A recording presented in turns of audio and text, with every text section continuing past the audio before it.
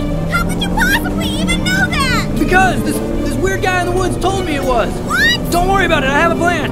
We're just gonna outrun this earthquake, steal an airplane, dodge all the buildings as the city collapses into the ocean, fly all the way back to Yellowstone, get the special map that tells us where the secret government spaceships are, outrun a thermal nuclear volcanic eruption, land in Vegas so we can get an even bigger plane. Hopefully, someone we already know will conveniently be there with access to a bigger plane. We'll convince them to take us with them, and right before the ash cloud destroys Las Vegas, we'll fly towards Hawaii, which will actually be on fire when we get there. But luckily, the Earth's magnetic fields will suddenly shift about a thousand miles and we'll magically crash land in the exact vicinity of the secret arks we were searching for all along. And then, even though the secret arks will be heavily guarded and there's no possible way they just let us in, we'll miraculously run into some locals who happen to be sneaking on board as well, who will take pity on us and help us sneak onto the ark right at the last possible second.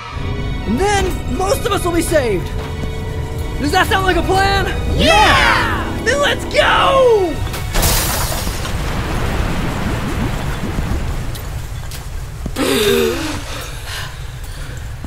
okay, new plan.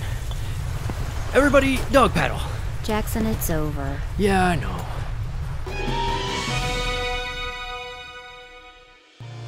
So, what did you mean by most of us will be saved? Huh? Oh, uh, nothing, nothing. Uh, don't worry about it. Oh, okay. You, you had me worried there for a moment.